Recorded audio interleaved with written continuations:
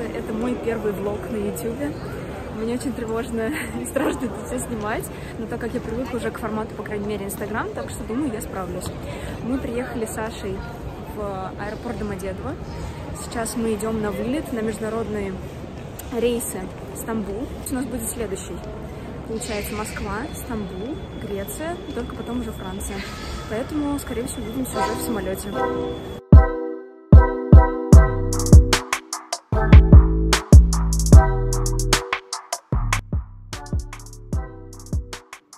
На все перелеты мы потратили Саше около 130 тысяч рублей.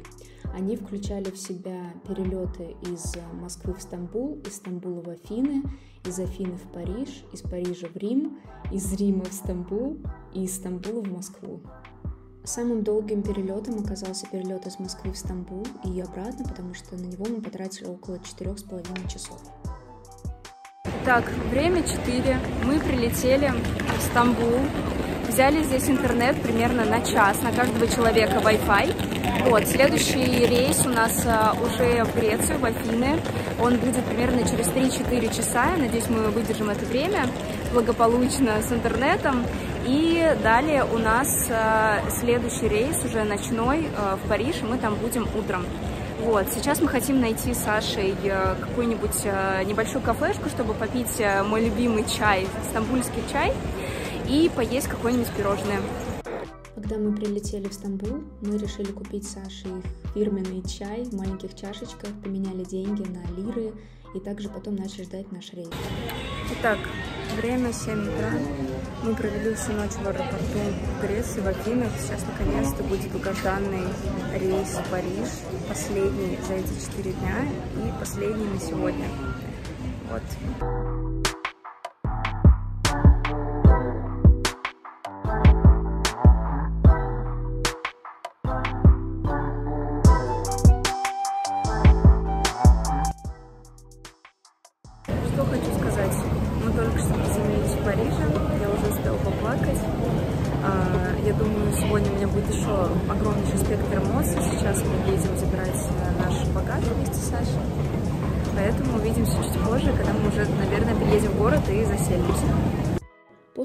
Как мы приземлились во Франции, мы начали искать наш багаж. Это заняло очень много времени, но потом мы пересели на бесплатную электричку до другого терминала, потом мы сели на электричку РЭР.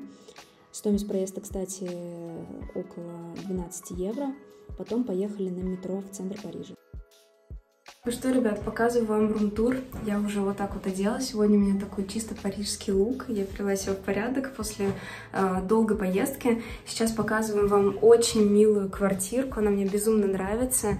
Вот, я бы, если честно, такую же себе очень хотела. Вот здесь все в таком стиле, можно сказать, Икеи сделано. Здесь две комнаты. И, что немаловажно, здесь э, вот такая вот замечательная маленькая кухня, но э, ее окна выходят во двор. Представляете, здесь можно сразу готовить готовить и, получается, смотреть во двор. По-моему, это просто прекрасно. Чистая эстетика э, французских квартирок. И вторая комната — это вот такая вот спальня. Вот, тоже небольшая, но супер-мега уютная, она мне тоже безумно понравилась. Есть такой еще шкаф. В общем-то, мы полностью с Сашей уже разместились, и на ближайшие 4 дня эта квартира будет в нашем распоряжении. Данная квартира обошлась нам примерно в 55 тысяч рублей. Бронировали мы ее на букинге. Жили мы в районе Андрей-Сюрсен, сразу за Сеной, следующей за всеми округами Парижа. Ехать на метро нам было примерно 30 минут до центра Парижа. И жили мы на станции Габриэль-Пери. Здесь очень милые домики, очень милая инфра- инфраструктура. И мне все очень понравилось, особенно сама квартира, которая была супер милая в стиле Икеи.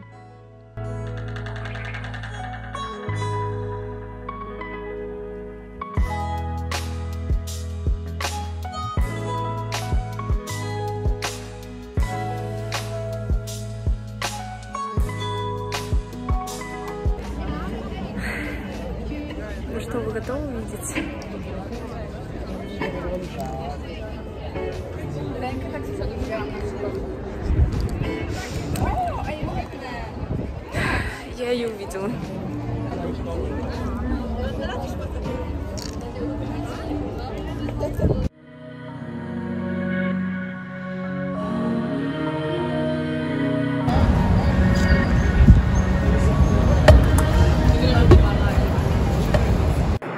Как только мы приехали на площадь Тракадера, мы спустились вниз, у нас была запланирована экскурсия на второй этаж Эйфелевой башни.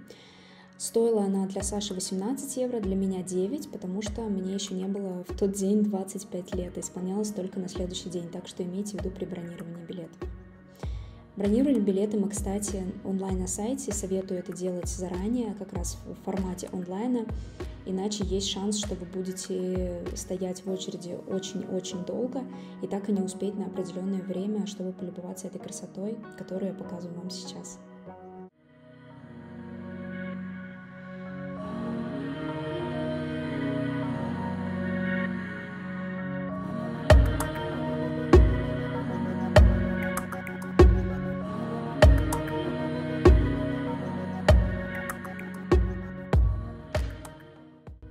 После того, как мы спустились с Эйфелевой башни с экскурсией, мы решили пройти в маленький садик под ней и полюбоваться ей оттуда.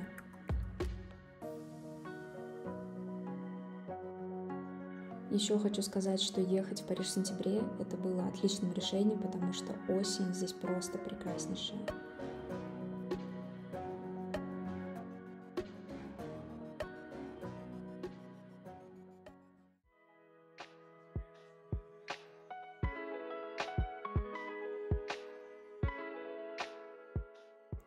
Первый день закончился неспешными прогулками по улочкам Парижа рядом с башней.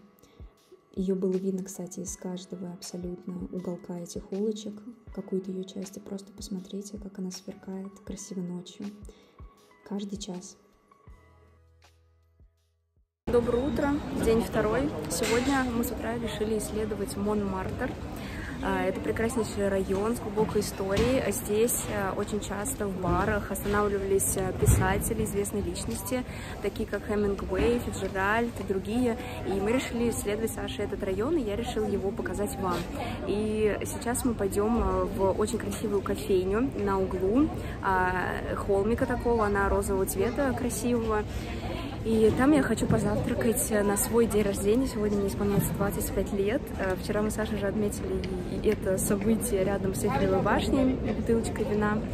И сегодня мы хотели бы отпраздновать его в ресторане чуть позже, но сегодня утром я решила пойти все-таки в кофейню, которую хочу вам показать.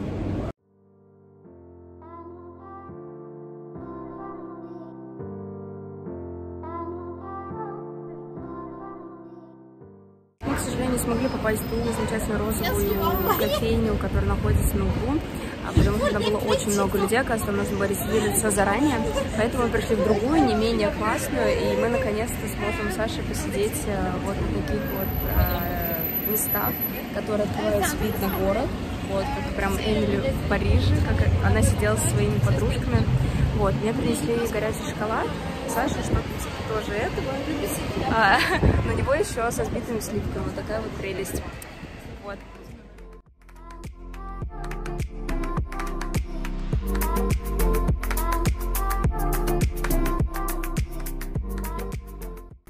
Весь завтрак обошелся нам примерно в 30 евро. Я заказала горячий шоколад. Здесь он называется Chocolate Chowwood на заметку. Саша заказал тоже, только со сливками. Плюс я еще заказывала авокадо тост. Он был безумно вкусный, насыщенный. И вообще не жалко было отдать за него деньги. И далее мы неспешно просто разговаривали, смотрели на утренний город.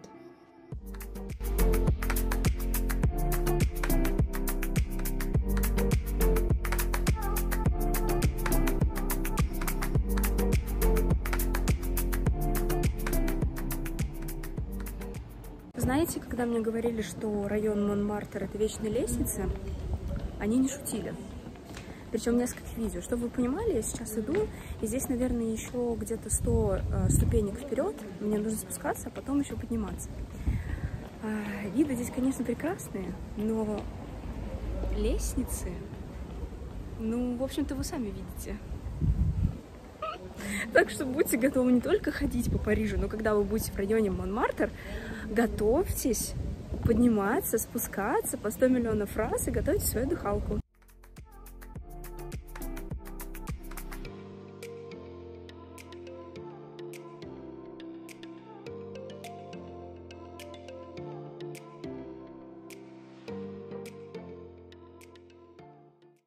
Ну и, конечно же, мы никак не могли пройти мимо классных кондитерских и булочных, которые там находились на каждом шагу. Мы взяли несколько круассанов с шоколадом и несколько эклеров. Также для съемки видео. Вот здесь я как раз уплетаю эклер. После съемки видео мы с Сашей начали просто следовать район Монмартр, который мне понравился, кстати, больше всех в Париже. Заранее скачали экскурсию на телефон и ходили, слушали про достопримечательности.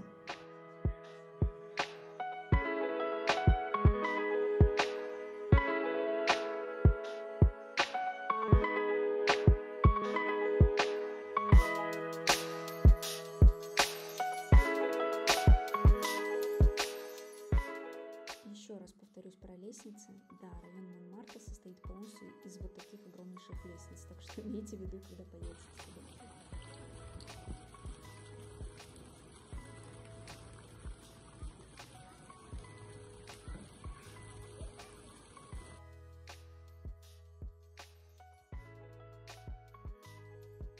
После этого мы попали на очень красивую и атмосферную площадь Тертер, где сидят очень много художников, которые в реальном времени рисуют вас или свои картины. И здесь все очень красиво, все хочется купить. Этих художников здесь очень много, и вокруг веет э, прям такой дух творчества.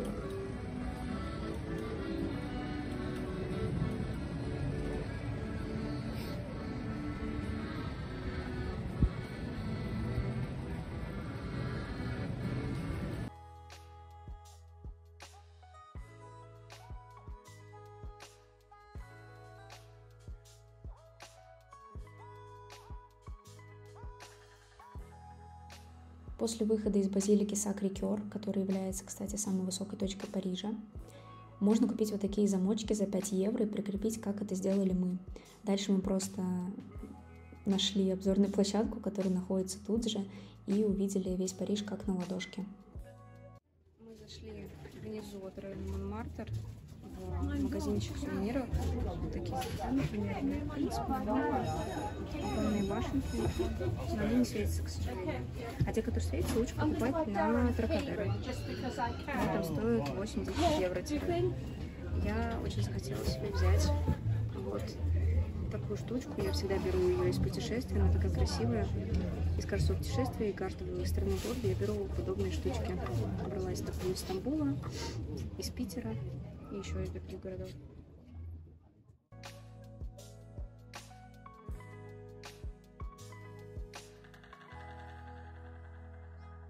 Если спуститься от Сакрикер вниз по лесенкам, то можно выйти на вот такую улицу с сувенирами, где они намного дешевле, где я их советую покупать.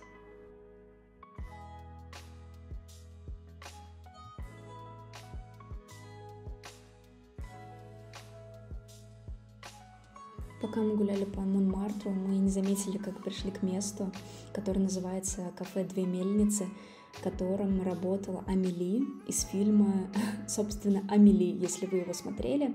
Это как раз тот район, где она жила и работала во время всего фильма.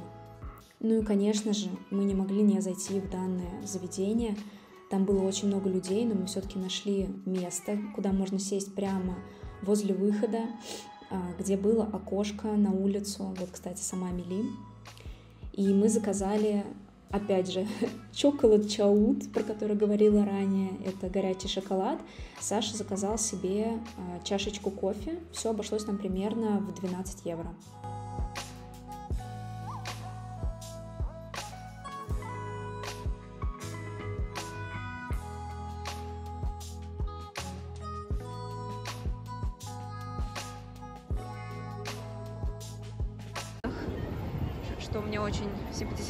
Нравится вот эта прекрасная традиция сидеть на верандах.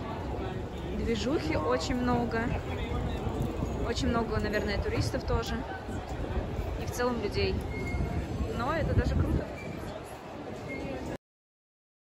Вечером с Сашей мы сходили в ресторан с видом на Эйфелеву башню. К сожалению, у меня нет видео, но именно там мы отправили мои 25 лет.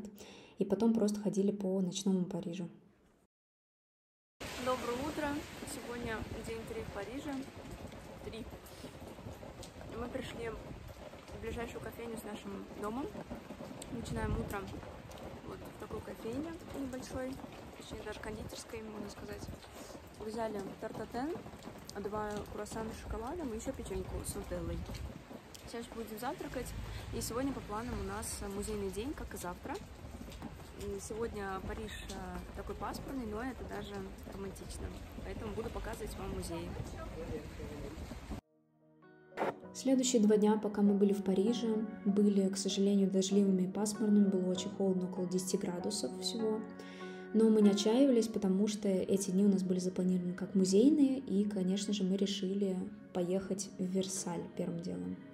Когда мы приехали в Версаль, дождь пока не прекращался, но это даже было романтично, и сам район был очень классный.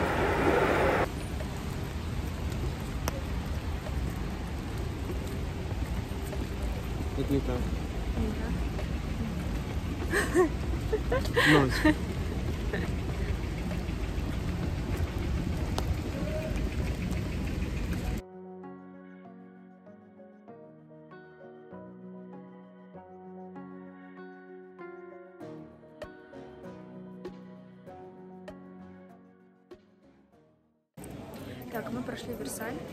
хочу вам посоветовать искренне.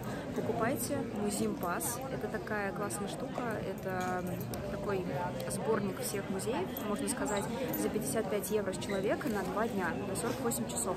То есть вам дается доступ к 40 музеям, э, самым главным музеям Парижа, и сколько вы успеете, столько вы можете посетить бесплатно. Какие-то из них, э, собственно, изначально бесплатно, но какие-то из них э, платные, стоят около там, от 10 до 25 евро и выше, и поэтому я вам искренне советую покупать именно этот музей пас. Потому что сейчас мы прошли в Версальский дворец без очереди, приоритет, в приоритете, и нас сразу везде пропустили, поэтому это заняло не так много времени, как э, могло бы быть, если бы мы покупали билет э, уже здесь. В Версаль мы ехали примерно от своего местоположения, где мы сейчас живем, э, примерно час с одной пересадкой. И сейчас мы хотим потратить, ну, наверное, часа два на прогулки по Версалю. Кстати, мы очень удивились, но здесь были гиды на русском языке.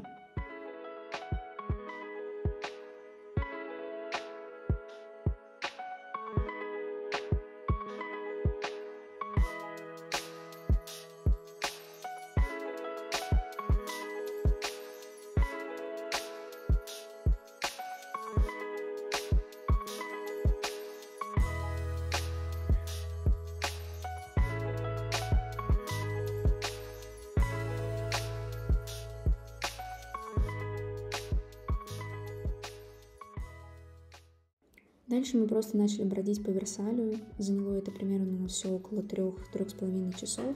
И если честно, первое впечатление у меня было о нем не очень.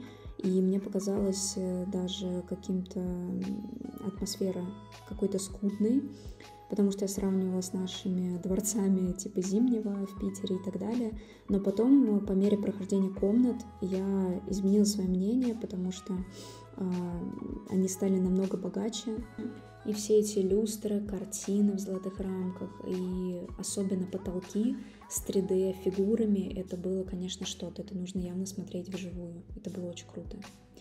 Но отдельное, конечно, внимание меня зацепили сады, в которые мы, к сожалению, не смогли попасть, но, тем не менее, мы их видели из э, окошек дворца, и они, конечно, были прекрасные. Я думаю, летом они здесь вообще восхитительные, потому что все цветет, или весной. Сейчас уже было не так красиво, но то, как они выстроены, и их композиция, думаю, никого не оставит равнодушными точно.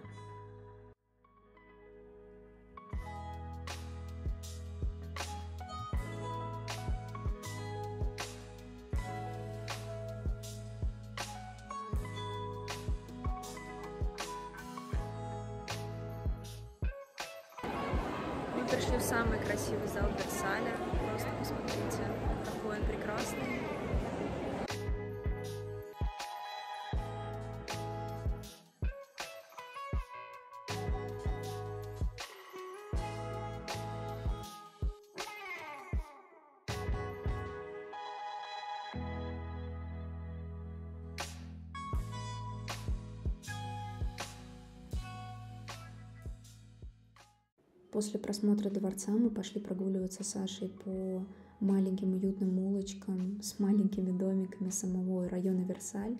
Они меня очень сильно зацепили. Я безумно захотела жить э, в таких домиках, потому что а, они были пропитаны атмосферой 18-19 веков. И отдельно стояли какие-то мясные лавки, сырные лавки, а, пекарни и так далее. Это было очень классно.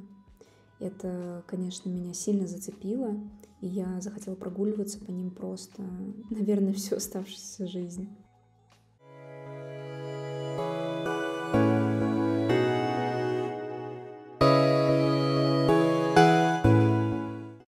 После посещения Версаля мы с Сашей поехали обратно на электричке. Вот, кстати, так она выглядит, двухъярусная электричка.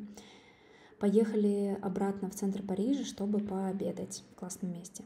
Мы пришли в очень крутое место. Здесь можно очень красиво и дешево поесть. Еще есть а, бульон Пегаль, но мы пришли вот. Так, пока нет Саши, он отошел. Мне уже успели принести улитки, 6 штук, здесь стоит а, где-то 7 евро. Также я заказала сок апельсиновый и еще курицу с картошкой. Цены здесь довольно демократичные, если сравнивать их а, с большинством ресторанов и заведений Парижа, потому что, например, один бургер здесь может стоить около 1800 а, рублей, а здесь, например, улитки те же стоят 600 или 700, а остальные блюда по 10 или по 8. Попробовать их там очень мало. Пока что добралась до соуса. Пытаюсь войти со мной улику. Я ждет успех. Очень неплохо.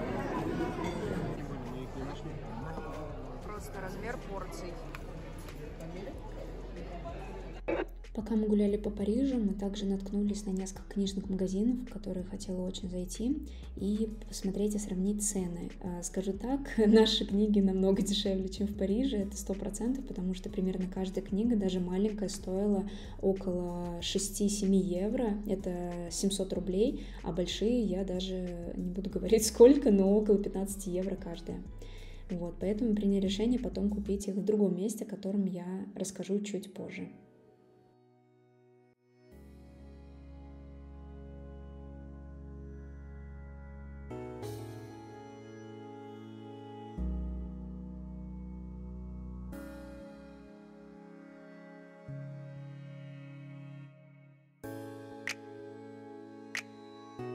Когда погода стала наконец-то лучше и дождь ушел, мы с Сашей приехали на Елисейские поля. Это главная улица Парижа, которую мы смогли посмотреть в первые дни.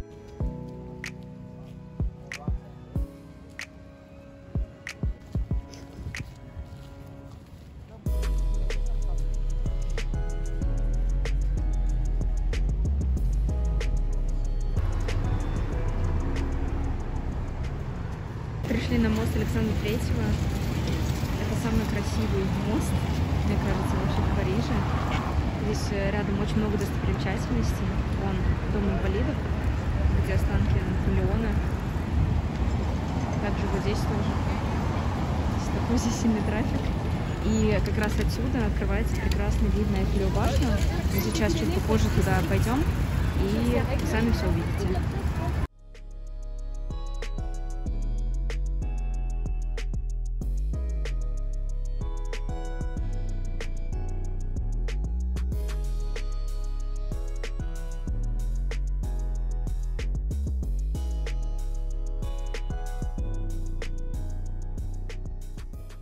Мы решили по полной использовать то, что у нас было включено в Париж Пас, поэтому поднялись на обзорную площадку с Триумфальной арки и посмотрели ночной Париж.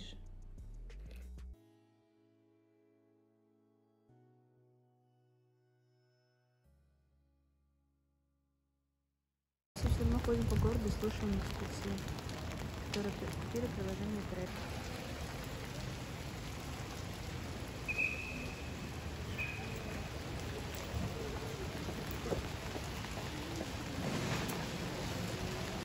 Весь следующий день у нас был посвящен музеям и прогулке по романтическому дождливому Парижу.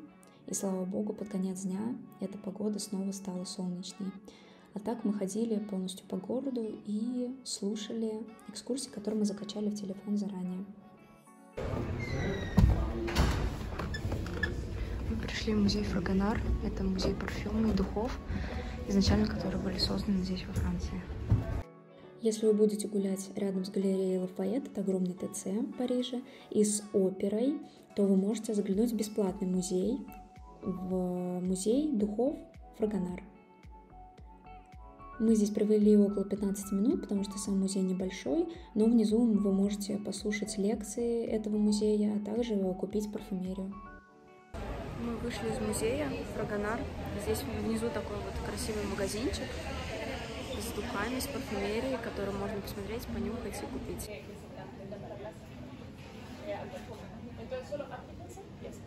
Ahora, mi técnica favorita para performarme el pelo, por ejemplo, nunca directamente. Yo primero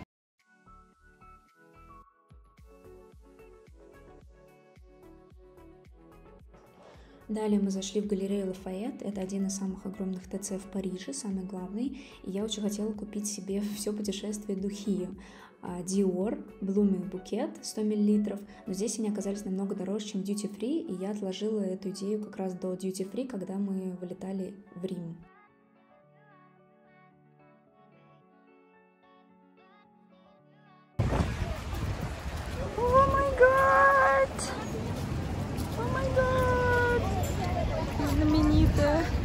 пирамидка.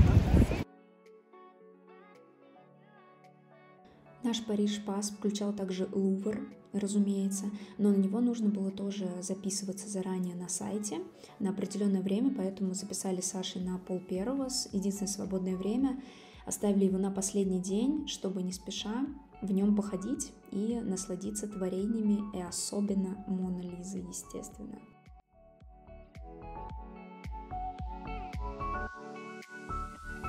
части Лувра в средние века.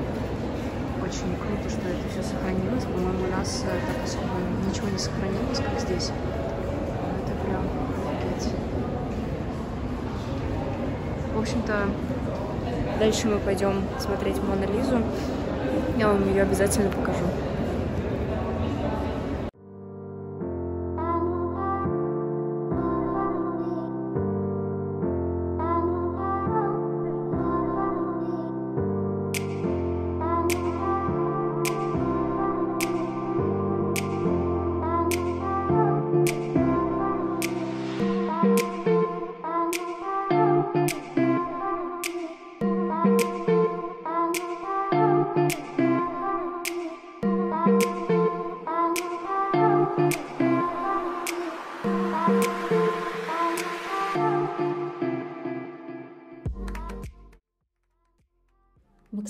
Знаете, что картина Мона Лиза или Джаконда стала известна только после ее кражи работникам музея в 1911 году.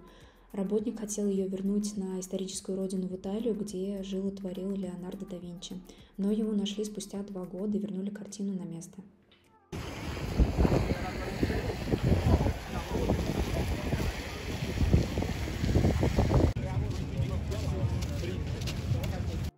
После Лувра мы вышли в прекраснейший сад, который находится прямо рядом с ним. Он называется сад Юлери. И здесь люди просто сидят, наслаждаются жизнью, наслаждаются приходящей осенью, читают, сидят на маленьких стульчиках, общаются и кайфуют от э, этой погоды.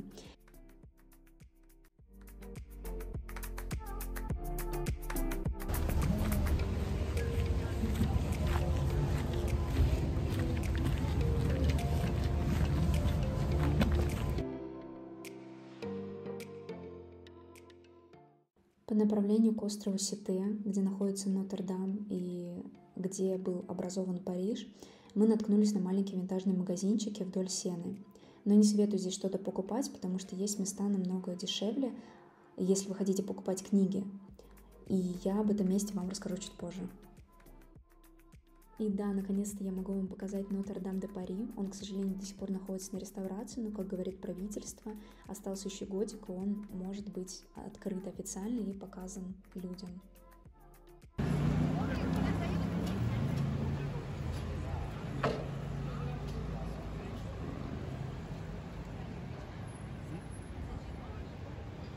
Мы зашли в книжный, называется «Бульон». Здесь есть винтажные книги, которые стоят от 20-30 э, рублей за штуку.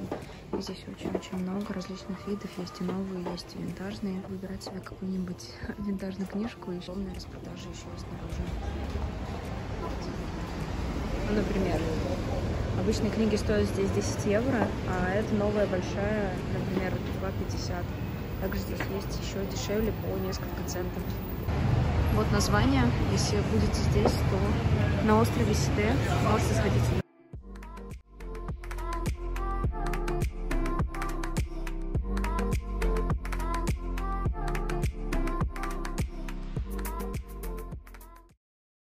Поверите, но я стою сейчас на месте, где снимался сериал Эмили в Париже. Это ресторан Габриэля. А вот это, где стоит Саша, сзади него, это дом, где жила Эмили, и, и оттуда открывался крутой вид на Париж. Еще здесь рядом Пантеон находится, Люксембургский сад и дворец, и еще много чего. Так что пойдемте смотреть квартиру Эмили. Вот, просто представьте, это и есть дом, в котором жила Эмили. Это ее подъезд, в который она заходила. Вот, и здесь Рядом с этим фонтанчиком она отмечала свой день рождения в одной из серий. Просто обалдеть. После этого мы с Сашей просто гуляли по вечернему Парижу, потом собирали вещи и готовились к поездке в Рим. Спасибо вам за просмотр, мне очень это приятно, и до новых встреч!